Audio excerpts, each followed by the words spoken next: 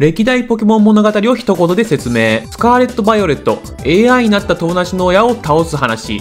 レジェンズ・アルテウス、なぜか過去に行き、なぜか村から追放され、なぜか元の世界に帰れない話。ソードシールド、頭の悪い社長の暴走を公的に罰する話。サンムーン、寄生されたおばさんを解放する物語。XY、変な髪型のおっさんが世界滅亡させようとするんですけど、阻止する話。ブラックホワイト、インチキ信仰宗教を解散させる話。ダイヤモンドパールプラチナ、新世界を作ると意味不明なことを言った青髪をボコす話。ルビーサファイエメラルド、バカな環境保護団体のやらかしを阻止する話。金銀クリスタル、復活したマフィアを解散させる話。赤緑青ピカチュウ、ポケモンマフィアを解散させる話。以上です。